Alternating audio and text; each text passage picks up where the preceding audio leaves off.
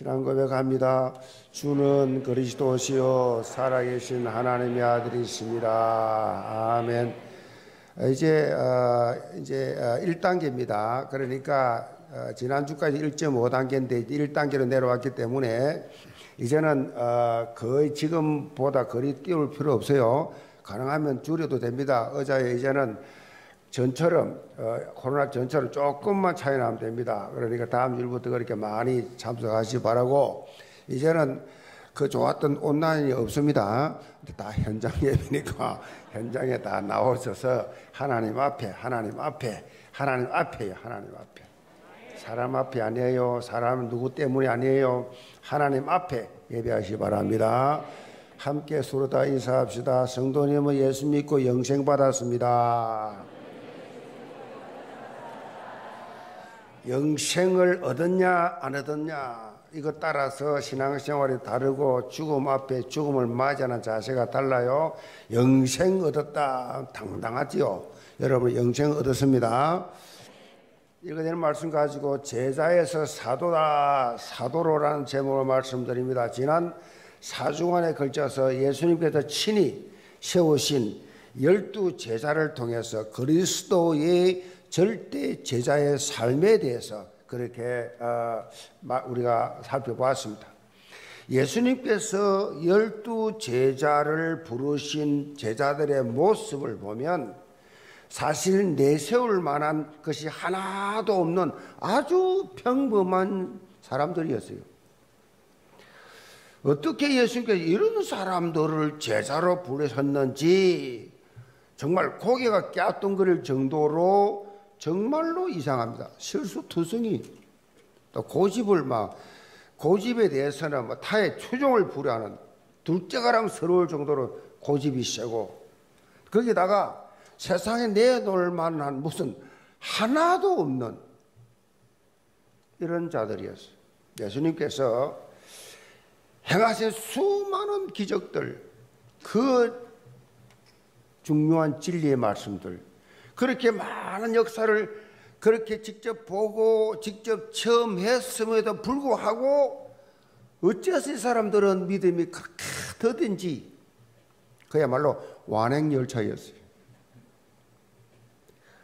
그런데 평범하게 거지없는 그들이 예수님과 함께 하면서 제자 훈련 받았어요. 훈련의 과정을 거치고 마가다락방에서 성령의 충만함을 임하, 체험한 이후에 성령, 성 하나님의 영이 임한 이후에 완전히 바뀌어버려. 180도. 180도. 다른 영적 존재로 다 바뀌었어요. 하루 만에, 하루도 아니야, 순간에. 모두가 다 하나같이 미션을 감당을 하면서 충성된 헌신자로 그렇게 부활의 정인으로 생명을 건 삶을 살았어요. 이런 예수님의 제자 선택은 우리에게 뭐요? 참 소망을 줍니다. 나도 가능하였구나.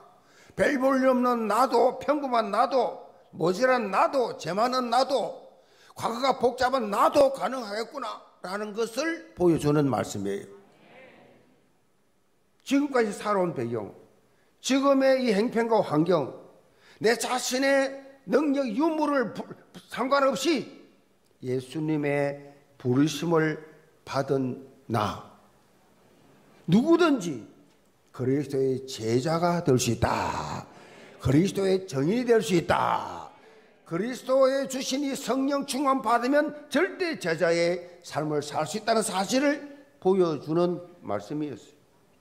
그래서 우리 영계 성도들 중에는 한 명도 나는 안 돼, 나는 별 볼일 없어, 나는 하나님 별 관심 없어, 나는 아무것도 아니야 라고 하는 그런 불신앙에서 빠져나오시 바랍니다. 영계 모든 성도들 예수 그리스도의 절대 제자라는 영적 이 정체성 이걸 여러분 신비에 다 그렇게 각인해야 돼요. 나는 그리스도의 절대 제자다. 아멘. 자, 그러면 여러분의 발걸음, 발걸음이 삶의 내용이 정말 정체성을 거기에 걸맞는 그러한 모습을 여러분 볼 수가 있습니다. 그리스도의 절대 제자라면 어떻게 해요? 그리스도 절대 제자는 줄 성수 안 하겠습니까? 줄 성수. 줄 성수뿐만 아니라 교회가 진행하는 정규 예배에 빠지겠습니까? 그리스도의 절대 제자인데 그리스도의 절대 제자라고 하면 하나님이 나에게 맡겨주신 이 일에 죽도록 충성 안 하겠습니까? 그리스도의 절대 제자인데 그리스도의 절대 제자라고 하면 온전한 헌금 생활을 하지 않겠습니까? 한마디로 행동 하나하나가 사람을 살리는 삶이 될 줄 믿으시 바랍니다. 사람을 죽이는 게 아니라 살리는 것. 이렇게 영적인 삶뿐만 아니라 일상생활 속에서도 내가 어떤 정체성을 가지고 있느냐에 따라서 그 삶의 모습이 천냥지차로 달라지게 되어 있어요. 오늘 본문에 보면 예수님께서 우리가 그리스도의 절대 제자라는 영적 정체성을 가지고 어떤 삶을 살아야 되는지에 대해서 구체적으로 그렇게 여기 말씀을 해주고 계십니다. 그 핵심이 뭐냐? 보내심을 받은 자라는 삶이에요. 보냄을 받은 자의 삶을 살아야 된다. 하나님이 나를 이 세상에 보내셔서 그리스도의 제자로서 살아라고 시간을 딱 정해놨어요. 언제 불러갈지 몰라. 보내, 보내신 자가 데리고 가요. 우리는 천국 백성이네 천국에서 잠시 나그네처럼 이방인처럼 외국인처럼 지구에 와서 이 살다가 우리는 갑니다. 하나님 시간표 따라서 다 가게 돼 있어요. 그래서 이 땅에 살면서 우리 해야 될 것이 뭐냐? 보내심을 받은 자의 삶을 살아야 돼요. 이 땅의 불신자들처럼 마르고 닳도록 이 땅에 마치 그렇게 끝인 것처럼 그렇게 살아서는 안 된다는 얘기예요. 마태복음 10장 1절에 보면 예수님께서 열두 제자를 부르신 내용이 여기 기록되어 있는데 2절에 뭐냐? 2절에 이들의 이름을 열거합니다. 하나하나 다 이름을 열거하면서 한 가지 독특한 표현이 납니다. 자, 2절에 독특한 표현이 뭐냐? 이들의 이를 바로 사도라.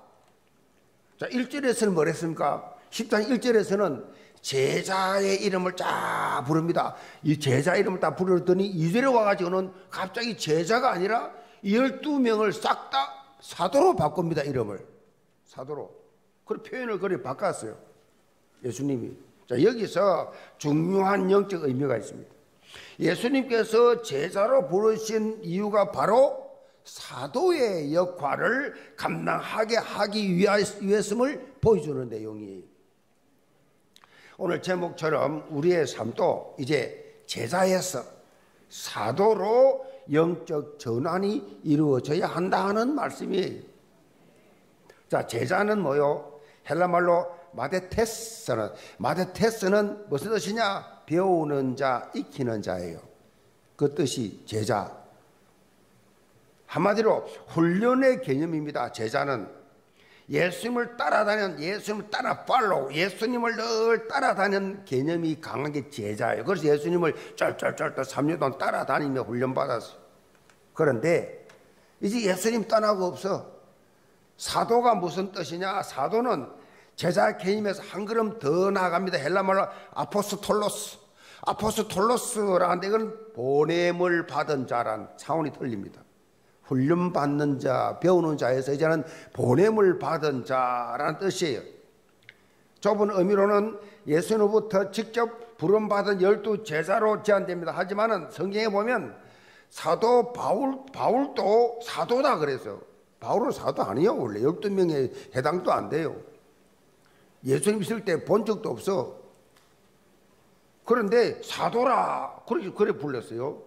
자, 부활하신 예수님을 만나고 정언하는 이 사명을 감당하기 때문에 예, 부활하신 예수님을 증거하는 사명을 감당하기 때문에 뭐라 했어요? 사도라 그래 사도라. 이 외에도 보면 예수님이 제자가 아닌데 사도라 불른 인물들이 나오는데 예수님 친형제입니다. 야고보 있습니다.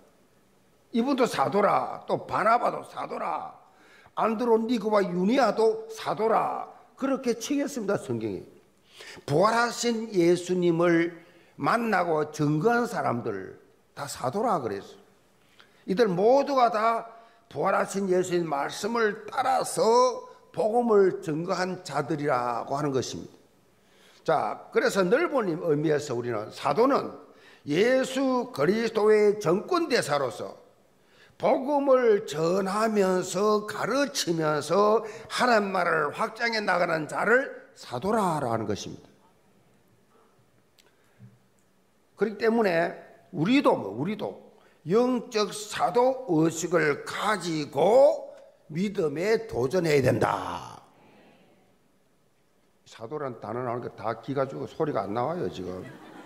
아이고 내가 어째 감히 사도의 의식이지 사도라고 말 안 했어요. 사도라고 하는 믿음에 도전해라. 다르지요. 이런 의식 가지고 사는 사람하고 의식 없는 사람하고는 삶의 내용이 다르지요. 생각이 다르지요. 말이 다르지요. 우리 영계 모든 성도들 오늘 말씀 통해서 예수 그리스도의 절대 제자의 이 사명의식 가지고 상세기 3장 4장 속에 보냄을 받은 영적 사도라는 정체성을 가져야 돼요. 돈 벌기 위해서 내가 직장 다니는 게 아니다니. 세상 사람들은 돈 벌기 위해서, 먹고 살기 위해서. 그래서 직장 다니고, 그래서 장사도 하고 사업도 합니다. 우리는 그런 차원이 아니라 그건 다 부수적인 거예요. 그건 어쩔 수 없는 부수적인 것이 우리의 본질이 뭐냐? 그리스도의 영적 사도다. 사도가 뭐요? 영적의 선한 영향력을 그 공동체 안에서 가는 곳마다 입히는 이런 증거 있기를 제물로 축복합니다.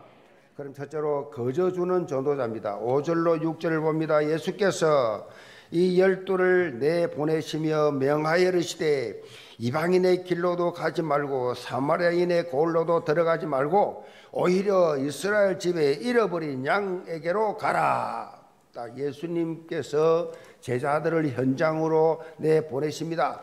여기서 내 보낸다 말은 원어적으로 말하면 특별한 임무를 주어서 대리로 파견한다 그런 의미예요. 임무를 주어서 파견하는 것입니다. 예수님께서 예수 그리스도의 이 정권 대사로서 정권 대사로서 우리를 복음의 전도자의 사명을 감당하도록 우리를 세상에 보낸 것입니다.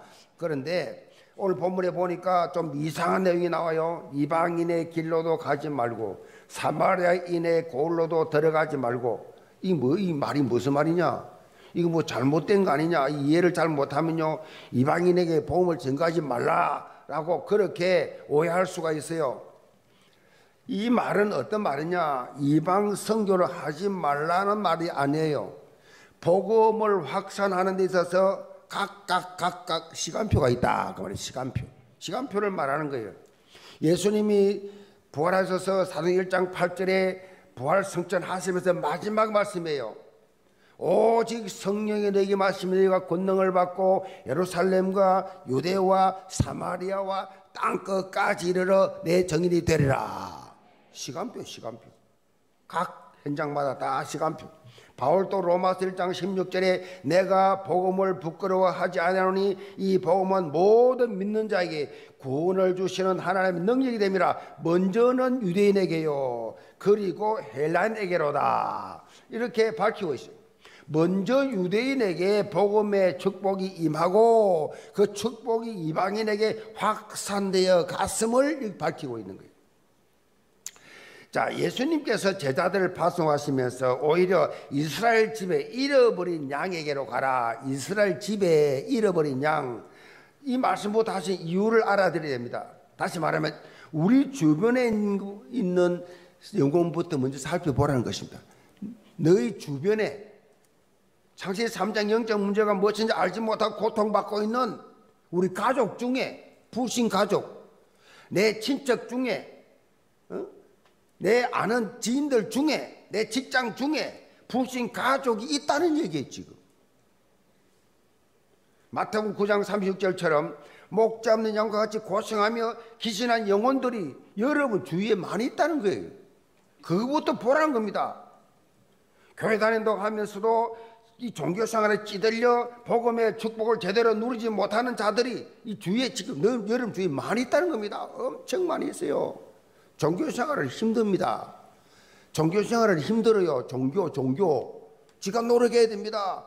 자기가, 자기가 깨끗하게 살아야 합니다. 자기는 나름대로 열심히 해야 됩니다. 그게 종교예요. 굉장히 힘들어요. 그 한두 번도 아니고.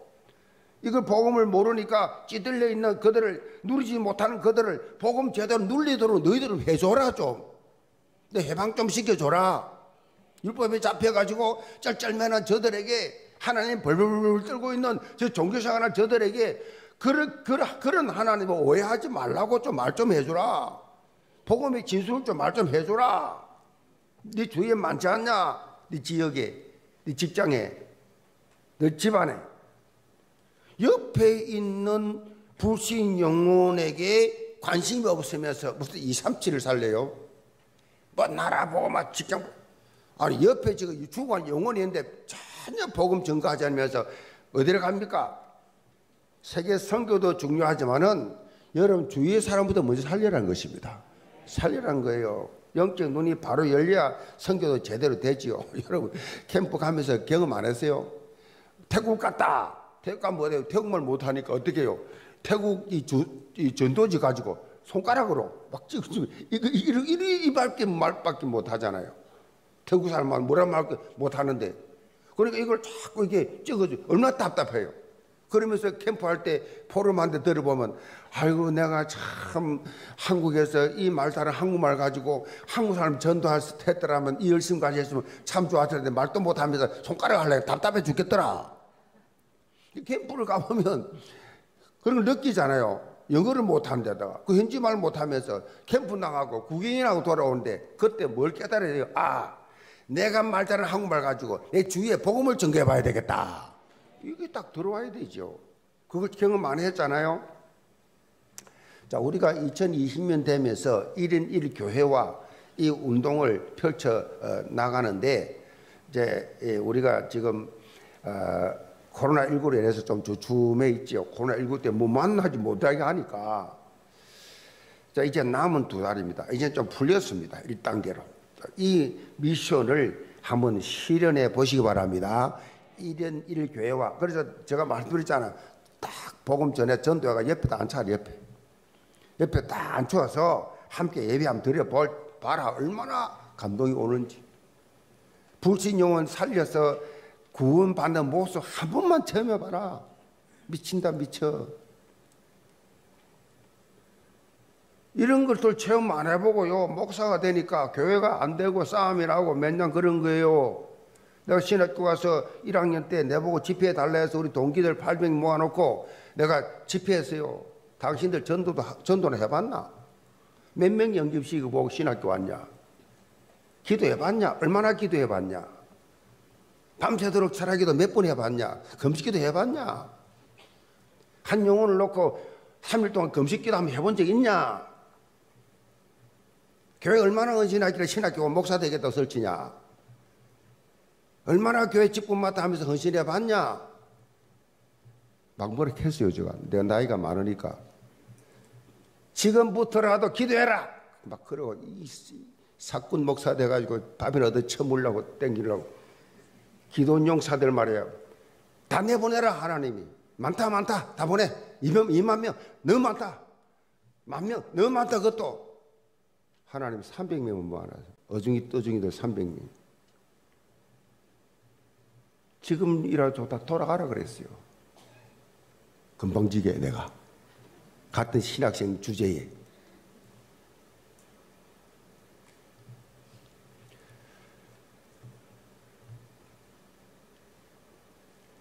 남은 두 달입니다.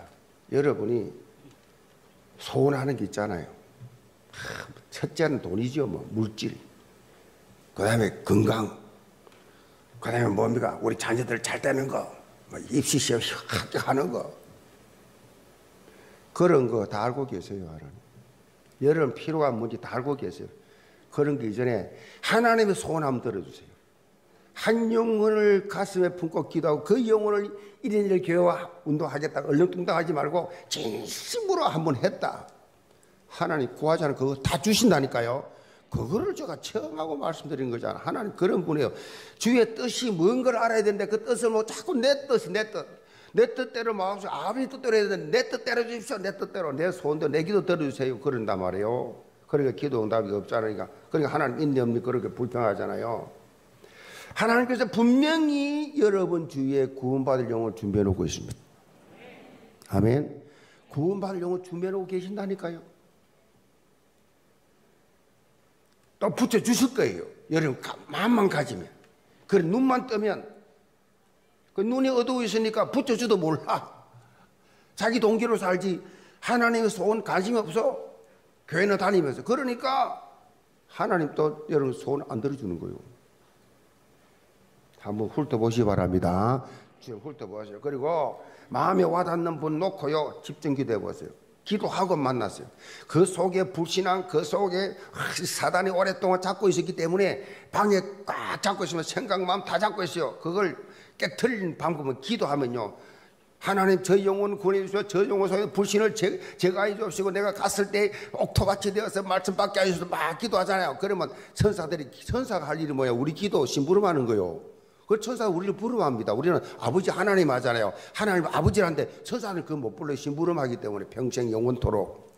그래서 우리 기도 받고 막 갑니다. 상대 가서 이 그 불신 영혼 막 제가 체험하길 창으로 찌르더라고. 창으로 확확확 찌를 보니까 그 속에 불신이 견디다 못해 귀신이 물러가고 영접하게 되더라고. 그 기도하면 창이 막 찔러 찔리니까 괴로워서 나간단 말이에요. 여러분이요 가슴을 품고 기도하는 순간에 주의 성령께서 강권적으로 역사하신다.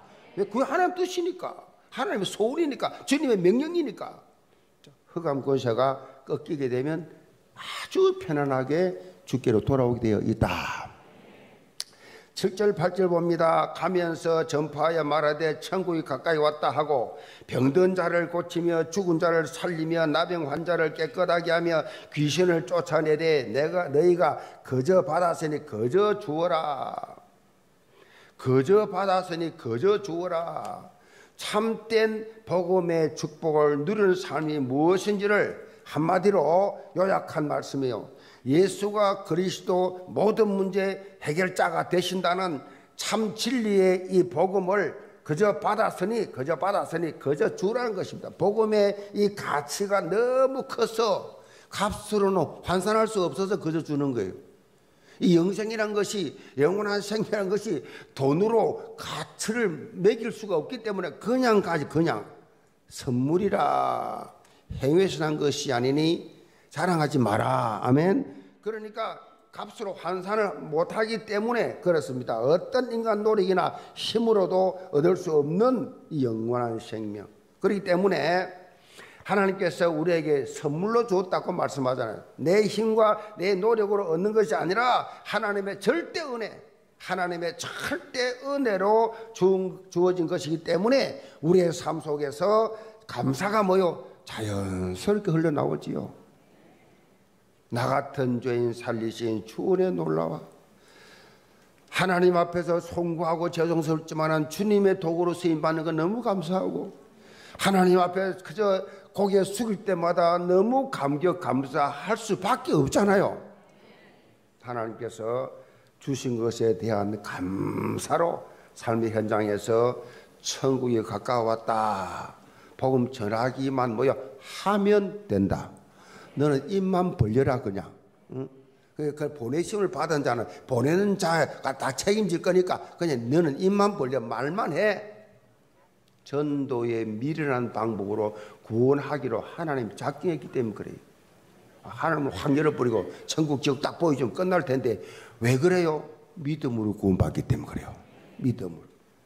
믿음이 좋은 한 초등학생이 있었어요.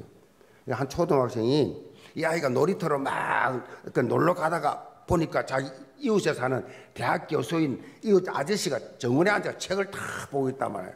그 이 아이가 쭉 가다가 안녕하세요 아저씨 예수 믿으세요? 이러니까 너나 믿어라. 나는 안 믿는다 그랬어요. 그러니까 이 아이가 예수 안 믿으면 지옥 가요? 하고 가버렸어요. 얼마나 간단한 말입니까? 그러니까 이 교수가 책을 읽고 있는데 책이 안 읽어지는 거요. 이상하다. 책이 안, 집중이 안 되는 거요. 집이 왔는데 계속해서 이 아이 말이 맴돌아가지고 밥맛도 없어. 밤에 잠을 못 자. 며칠을 그렇게 시달리다가 이게 도저히 자꾸 예수 안 믿으면 지옥 간다는 말이 자꾸 맴돌아가지고 도저히 안 돼가지고 이웃에 있는 동네에 있는 목사님을 찾아갔어요. 목사님 내가 며칠 잠을 못 자고 이렇게 그 아이 한 말이 이렇게 자꾸 들러서 지금 내가 잠을 못 잡니다. 그러니까 간단하네요. 예수 믿으면 되네요. 그래가지고 복음을 듣고 예수님이 영접했다라고 하는 이야기. 전도는요, 이렇게 간단한 거예요. 여러분 아시잖아요. 엔돌핀의 뭐, 어, 강사로 유명한 이상구 박사. 안식교 35년 다니다가 때려치우고 예수 믿은 지 3년 됐어요. 개신교도로 지금 남양주에 그 안식교에서 빠져나온 목사하고 개척을 했는데 이분 유명하잖아요. 근데 예수를 어느 날 자꾸 암이 걸릴 것 같은 기분이 자꾸 들더래요.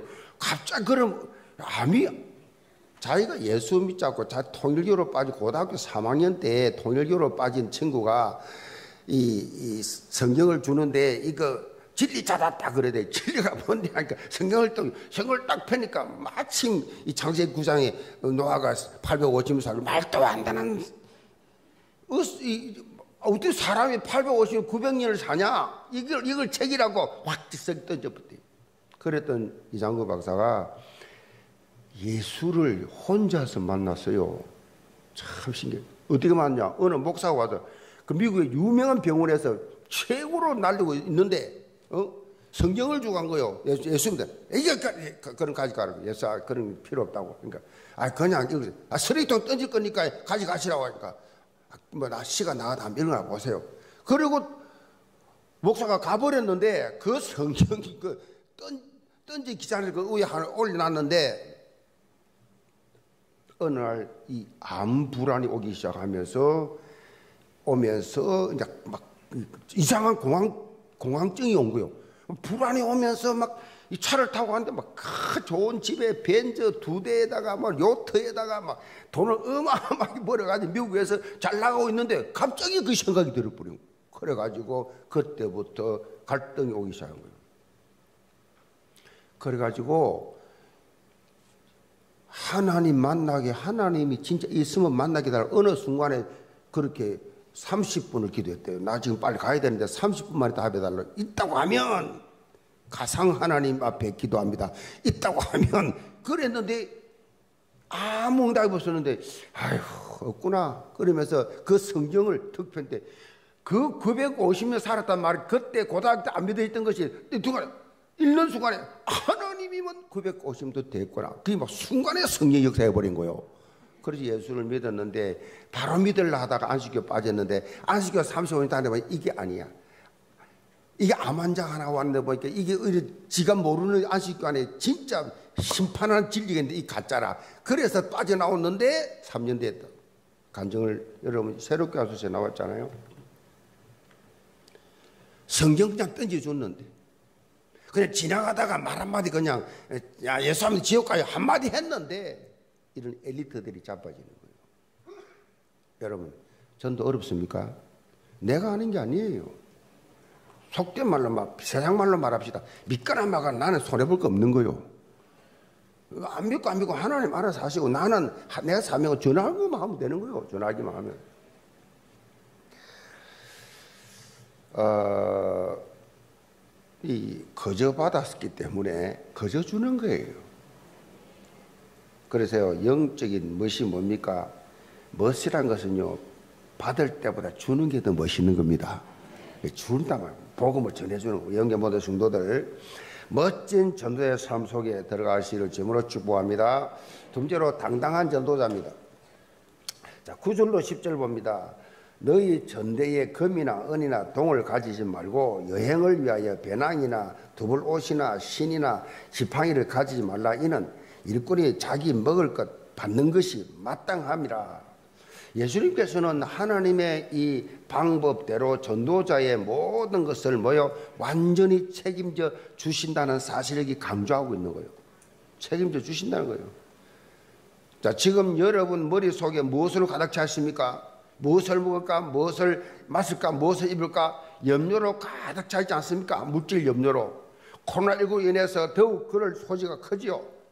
요즘 시대를 가리켜서 with 코로나 시대라. 무슨 말입니까? 이제는 코로나와 함께 살아가는 시대가 왔다. 그 말이에요.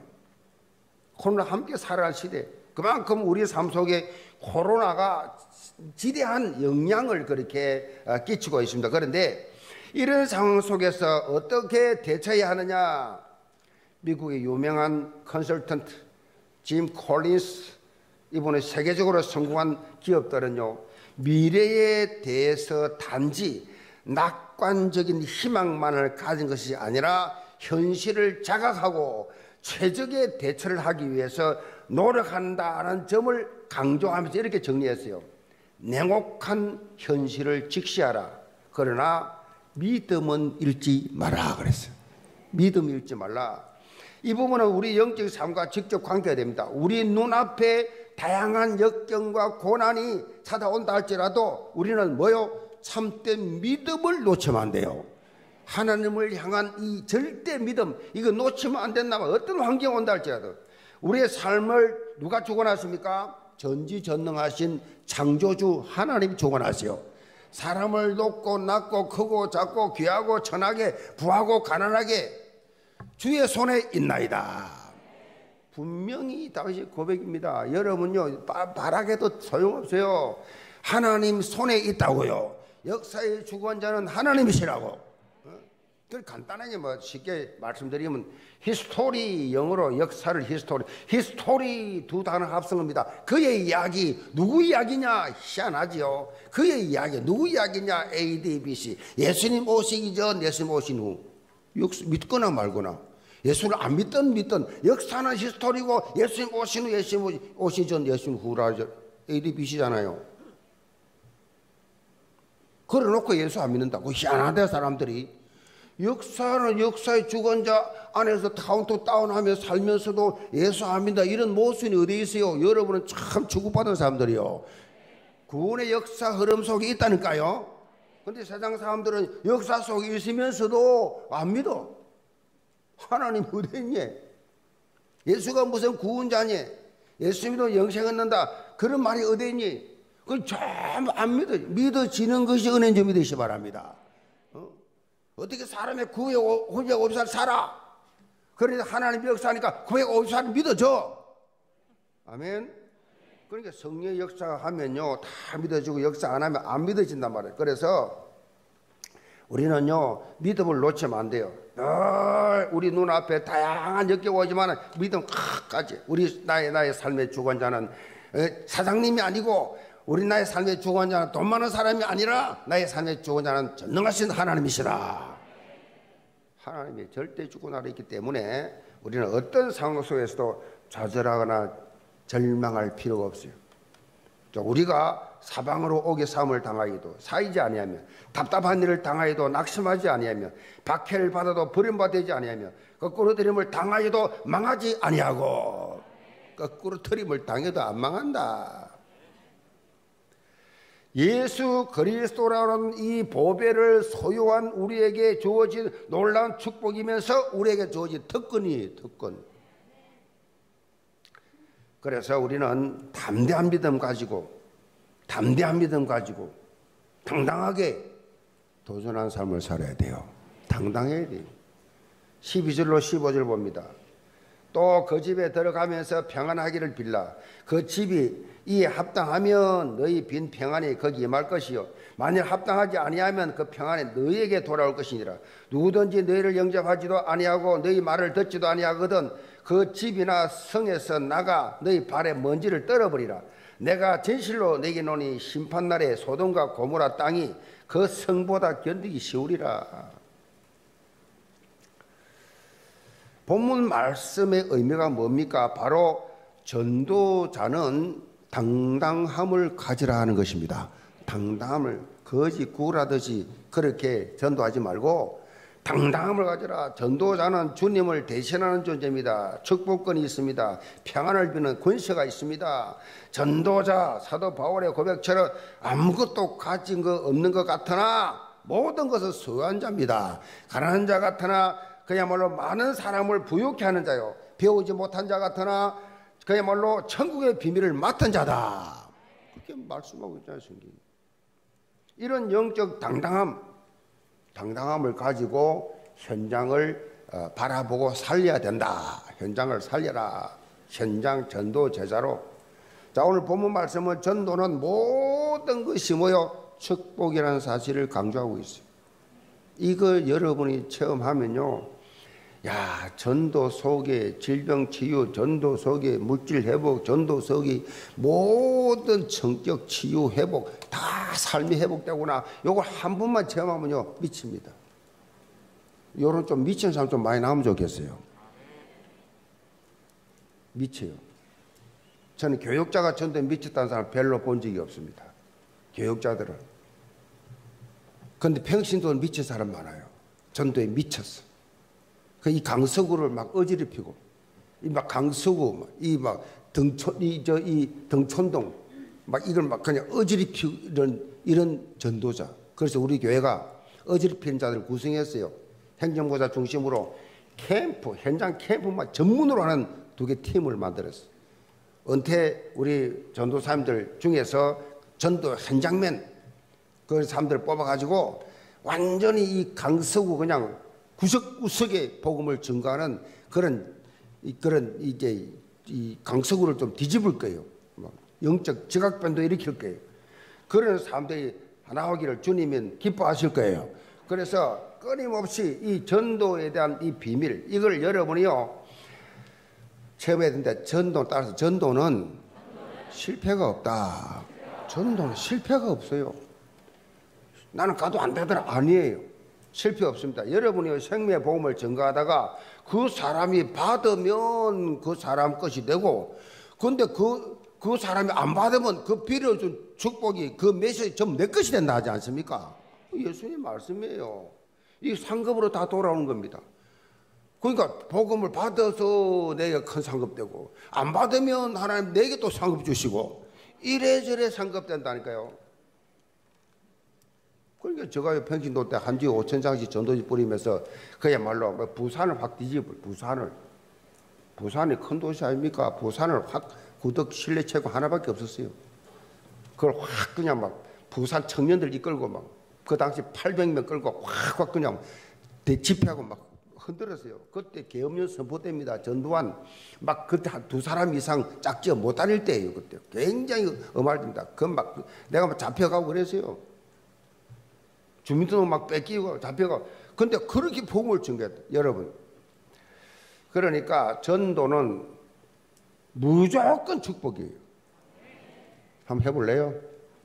아, 무조건 축복이라는데 목사가 강단 설교하면서 거짓말 합니까? 체험도 안 해보고 말합니까? 성경에 있는 걸 있는 걸 체험도 안 해보고 이 말 합니까? 저 정인으로 썼어요. 저 설교 아닙니다. 간증입니다. 아멘. 신앙생활은요 다른 거 없어요. 말씀에 기록된 하나님의 뜻대로 믿고 당당하게 행동하면 돼요. 당당하게. 옛말에 유세 부린다 그런 말이 있죠. 유세 부린다. 문자적으로는요 사회적 지위나 권세가 있음을 자랑하면서 떠벌리는 떠벌리는 이런 과장된 행동을 유세 부린다 그러죠. 이 표현은요 유서 통해서 나온 거예요. 유서가 뭐냐면 임금이 말이죠. 군, 군사권을 가진 그 당시에 관찰사, 절도사 등에게 명령을 내립니다. 명령 내리는 것을 유서라고 합니다. 이그 어, 왕이 장군들에게 명령 내릴 때 그 유서를 말하는데 그것을 넣는 통이 유서통이라 재밌는 것은요. 이 유서통을 메고 가는 자에게 만약 길을 가로막는다든가 방해를 하면 삼족을 멸한다는 강력한 법이 있었어요. 삼족을 멸해버려. 왜냐? 이 유소탱을 메고 가는 사람은 사람을 건드리면 임금을 건드리는 거예요. 임금 명령을 받고 가기 때문에 그래서 유소통을 메고 가는 사람들은 아주 당당했습니다. 당당했어요. 그래서 사람들 뭐라 했냐? 유세 부린단 말이 거기서 나온 거예요. 왕의 명령을 가지고 내가 가는데 다 비끄러 하면서 막 큰소리 뻥 어깨 팍팍 힘주고 나가니까 유세 대게 부리네. 그 소리가 거기서 나온 거예요. 제가 이 말씀드린 이유가 뭡니까? 우리는 예수 그리스도의 정권 대사예요. 아멘. 그러니까 영적으로 유세 부릴 정도로 당당해야 돼. 저는요 전도 이거 모를 때는 유세는커녕 당당은커녕 늘 기죽어 살았어요. 열등 의식에 찌들려 가지고요. 내같이 못난 놈이 없고요. 내같이 모자란 놈이 없고 내같이 무능한 놈이 없었다고요. 실제로. 그래서 그걸 버스도 못할 정도 부끄러워 골목에 숨어 있을 정도로 저 그래도 사람 마주 보는데 안 갔다니까 부끄러워 쳐다보는 게 부끄러우니까 여러분 이해 못해요 저를 지금 변화된 나를 이해 못한다 어떻게 내가 치유됐냐 버스를 못하던 내가 어떻게 버스를 잡고 전도했냐 미치겠더라고 친구 사, 총무하자는데 회장이 안 할 수도 없고 이 친구는 원래 부끄러움이 없는 친구야 얼굴이 시커매가지고 나는 얼굴이 해가지고 빨갛게 빨개졌다 해도 아 표가 나잖아요. 이 친구는 원래 새카매요. 그러니까 아주 뻔뻔히 이 친구 원래 뻔뻔해. 늘 부러웠어요. 이 친구는 말을 잘해요. 충청도 친구인데 군, 그군 부대 안에 일하는 그, 그 공무원이었거든요. 그러니까 회장님 버스 선도 합시다. 어떻게 하는데 내 할게 따라오세요. 그 해운대 출발 충무동 타러 자석 버스예요. 딱 내 할게 다 보고 하시라고.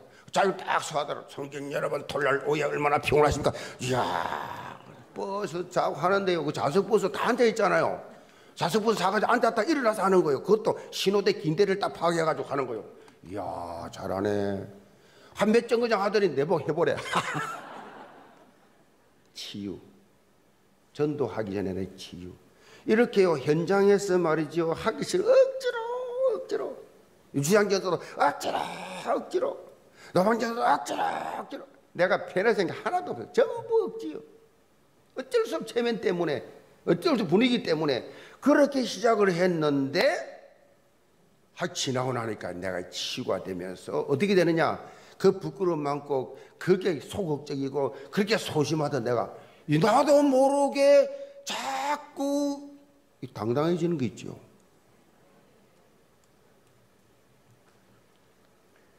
치유가 다 치유. 열등의식, 비교의식, 확 가난, 이 질병 다 물러가. 부, 막 불안, 초조, 염려, 이싹 다. 어, 여러분이요. 그래서 제가 이걸 체험을 하고 말씀드리기 때문에 한 번 여러분이 복음의 능력을 현장에 체험해 보시기 바랍니다.